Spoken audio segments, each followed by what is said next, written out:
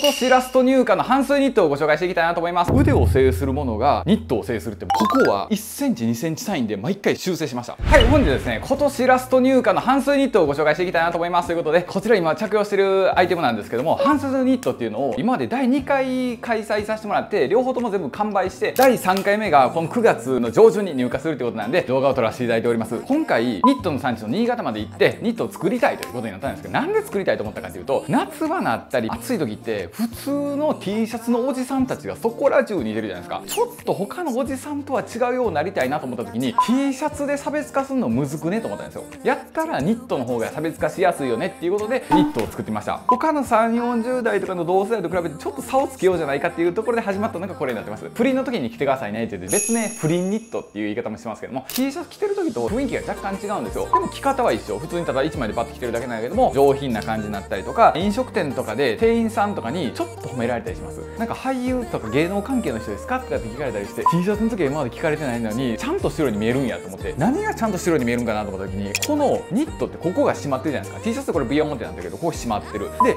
大事なのここなんですよ。腕の二頭筋のとこがキュッて締まってる。これだけですごい綺麗に見えるんですよ。去年から実は作りたいなと思ってたんやけどようやく今年間に合ったということで2024年第3回目の最後再入荷ってことなんですけど次回はもう2024年の春に入荷しますので楽しみにしておいてもらえたらなと思うんですけどもうすでに購入してないでもう完売もしてるのでやっぱレビューがあるんですよ。それをパパって見させてもらうと1 7 1センチ7 6キロのがっちり体型で M サイズを着用してますと。袖口がちょっと小さかったかな。でも満足ですっていうことなんですけどもここですよね。ここがちょっとちっちゃかったかなっていうことで声もいただきました。で逆にこのサンプル作るまでに大きかったバージョンがあるんですよ。これこの画像でもある通りちょっと余ってると T シャツに見えてくるんですよ。でそれもちょっと後で聞きますね。どんな感じになるんかっていうの。で他にはブラックの XL 買ってくれた人今回も本音で書きたいなと思います。職場の飲み会に来ていきました。正直かっこよく来ました。さすがフリースタイルということでこれ発送の時はご安心ください。フリーニットなんて書いて送りませんので。他にやったらブラックと L サイズ買った方ブラックとグレーを購入しましたと。とても着心地いいし着ていても誇らしく思える1枚ですと。一応生地に関してはこのコンパクトツイストっていう生地をね採用してましてこれがフリーニットの生地ですね。他のやつと比べて糸をねギュッてこう寄してるんですよ。でそれによって肌触りがドライ感のあるベタっとひっつかない肌触りになってます。ここにカラー見本がある通りこんだけカラーがあるってことはですよ。また増えますよ。でこれ実は YouTube で紹介するの今回が初めてなんですよ。入荷しては完売して入荷しては完売してやったんでこのタイミングで入荷する前に動画作っとかんと次は来年やなと思ったんで作らせていただきました。僕が来てほしい感じとかもまさにこの方そうやなと思うのが奥さんと娘さんとレストランに行く予定がありましたがかっこよく行けそうです。ニットですが通気性が良くて全然熱くないですっていうことで書いていただいてました。ショーツとも合うって書いていただいたりしてるんですけど本当にね、まあ、いろんなレビューを皆さん書いていただいてて僕個人的にはここはやっぱ余るよりきつい方がいいって思ってるんですよ。っていうのも工場見学の時でも言ったんですけど拓三さんすごいここにこだわりますよねって言われたんですよね。僕にとってニットとはここにこだわるべきだっていう理論があるんですよ。腕を制するものがニットを制するって僕は思ってるんですよね。他のブランドとかも僕何個も来たんですけどとにかく袖が甘いんですよ。これも最初甘かったんやけどもちょっと見てほしいのが今ねこの感じじゃないですか。何にも力とか入れなくてもほんまにちょうどジャストかなみたいな。それになる前が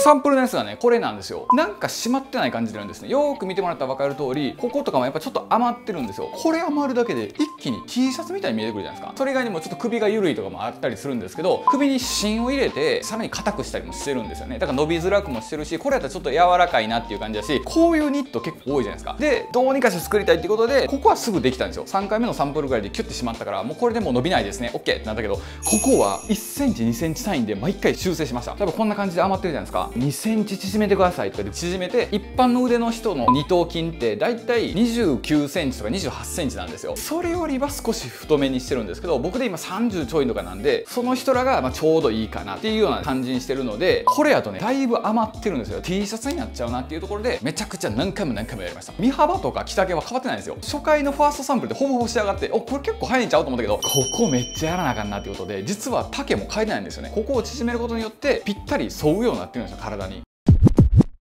これ全然イメージ違うじゃないですか。ちょっと腕変えたりするだけで首ももちろん変えたりしてるからそれだけで伸びひんししかもこう腕パツってなってるからめっちゃいいなっていうことでプリンニットに仕上がりました。今カラーがグレーとかカーキとかワインレッドでブラックネイビーみたいな感じで5色で展開してるんですけど来年はもう1個ね増やそうかなと思ってますけども正直返品もあったんですよ。購入された方の中でちょっとこれ返品しますっていうのがあって何があったかっていうとサイズが合わへんかったっていうのがあったんですよね。で何がサイズ合わへんかっていうと僕 L で着てるんですよ。ジャストじゃないですか。僕よりも背が2ランクぐらい大きい人とか結構肩幅ある人とかってなったら XXL っていうのを作ってないんですよね。まあ確かに不倫する人って XXL までいるよなとかって思って S から XL までしか4展開しか作ってなくて今回はもう増やせれなかったんですけどもし要望がまだあるんであれば来年は XXL まで増やしたいなっていうのがまあ正直な感想で本当に申し訳ないなと。もちろん返金はさせていただいておりますので期待に添えなくてね申し訳なかったなと思ってます。これに関してはね工場さんにも見に行ったりはしたんですけどすごい職人さんらいっぱいおるんですよ。新潟ってやっぱニットの街やから。僕が言った修正のシートとかがあるんですけど的確に直してきてくれるんですよ。で